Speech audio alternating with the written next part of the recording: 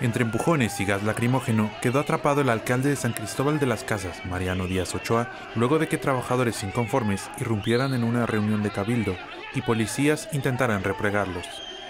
El saldo del enfrentamiento entre sindicalizados y policías fue de ocho personas intoxicadas, quienes fueron trasladadas a clínicas cercanas para su atención. Algunas de ellas se encontraban en el Palacio Municipal resolviendo asuntos propios fueron integrantes del Sindicato Independiente de Trabajadores Municipales del Ayuntamiento de San Cristóbal, quienes arribaron al recinto en el que se encontraba el edil y otros funcionarios para exigir prestaciones prometidas.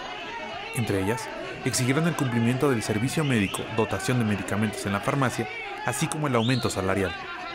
Por ello, intentaron acercarse a Díaz Ochoa, quien al verse acorralado por los inconformes, solicitó la presencia de elementos de seguridad municipales. Los policías rodearon al alcalde para intentar sacarlo de manera segura. Sin embargo, esto molestó a los trabajadores, quienes se aglutinaron para impedir el paso. Los oficiales comenzaron a lanzar gas lacrimógeno en todas direcciones, afectando a personas manifestantes, trabajadores del palacio, personas que realizaban trámites e incluso al propio presidente, quien fue sacado de entre el tumulto y abandonó el lugar. El enfrentamiento duró varios minutos. Hubo golpes, empujones, gritos y otros ademanes de sindicalizados que querían hacerse escuchar y autoridades que intentaban replegarlos.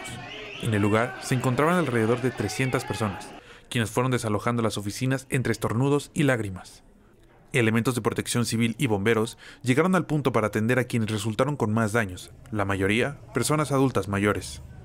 El CITRAM condenó los hechos registrados y responsabilizó al director y al subdirector de la Policía Municipal por los daños causados.